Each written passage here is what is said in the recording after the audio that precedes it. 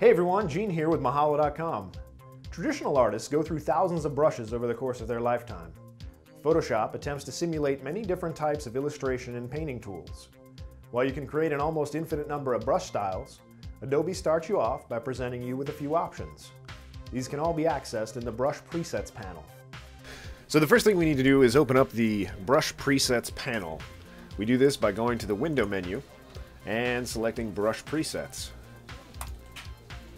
So the first thing we see is the presets themselves. Over on the left hand side is an image of what the brush looks like, and then on the right hand side we have a simple stroke using that brush. This way you can see before you make your selection what each brush does for you. Once we select a brush from the panel here, we can change the size of the brush by moving this slider. We do the same thing by coming into the canvas area here and right clicking. This actually brings up kind of a miniature version of our brushes panel. We can adjust the size here as well as the hardness. 100% uh, hardness will give us a brush with strong solid edges. 0% hardness will give us a softer brush. These icons that you see here are basically images of brushes that you would find if you go to an art store. One of the cool features of these brushes is if you have a Wacom tablet, you can select one of these brush styles. I just brought down the size a little bit. And that makes active a small icon right down here in the bottom of the brush presets panel. This is the Bristle Brush Preview icon. If we click on that, it brings up another window that we can then move around.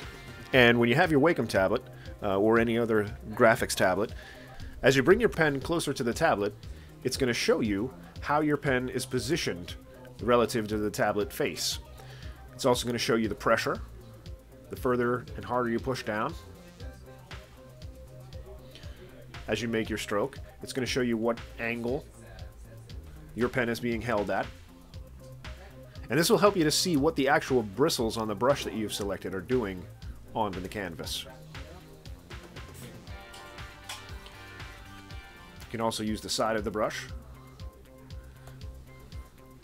Or you can aim the brush straight at the canvas for a finer line. In this case, the brushes are relatively thick and I have a large size, so it's not going to be extremely fine, but compared to the, using the side of the brush, you can see we're getting different results. So this is one of the cool new features of Photoshop. It's uh, recent to it. Moving on, if we look right next to the size area, we'll see the icon to toggle the brush panel. Now this panel goes hand in hand with the brush presets, and when we talk about this a little bit later, we're going to show you how you can create your own brushes using the various options that are included in the brush panel. For now, we're going to close this though. In the panel menu area, you find several different groupings of brushes. Assorted brushes, basic brushes, calligraphic brushes, Selecting any of these options is going to bring up a new dialog where we can append, cancel, or hit OK. What append does is it adds the brush set that we just selected to the current set that's open. So if we hit append, you'll see that our slider bar here shrunk a little bit, and that's because all of the brushes from the set that we just chose have appeared at the bottom of the set that was already open. So if we open up a different set, and then we just select OK, it's going to erase all of the brushes that we have open and replace them with the set that we just selected. One of the great aspects of most of these presets panels that we're going to find in Photoshop is that we can set up our own set of tools. I'm going to go through and delete a few of these brushes and show you how to create a new brush set. Alright, so once we have the exact set of brushes that we want to keep and use in a different time, uh, we're going to come over here to the panel menu and just click on Save Brushes.